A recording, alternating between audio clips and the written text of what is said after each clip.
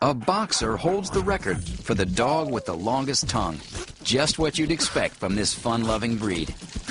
Okay, a boxer is like a three-year-old child. That's it. They never grow up past three. And there's a saying, how many boxers does it take to change a light bulb? It doesn't matter because they're going to chase their toys in the dark. Boxers are aptly named. They get up on their hind legs and they'll punch you. you know, that's it's the truth. They do box you.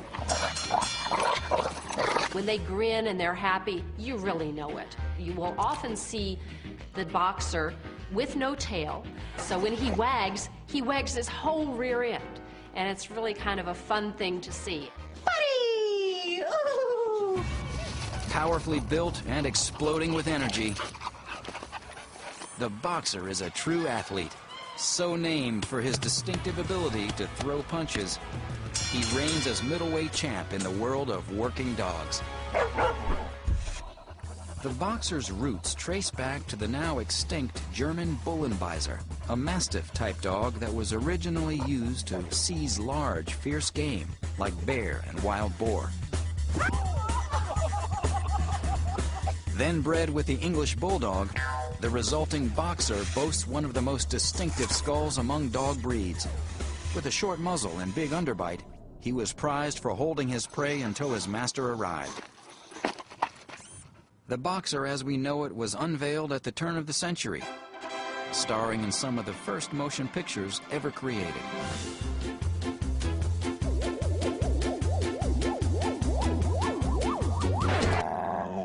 Today's boxer still loves to entertain. Who do you love?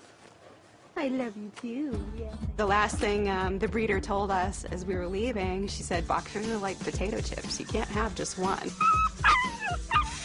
Boxer puppies can be born with three different coat colors. Fawn, brindle, or white.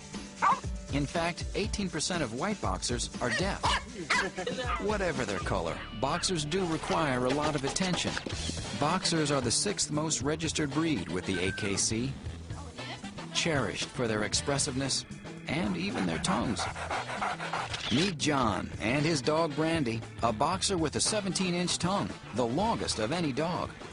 As a puppy, her tongue was already the size of an adult boxer's. And as she grew, so did her tongue. With some one-on-one attention, boxers can be trained to do just about anything.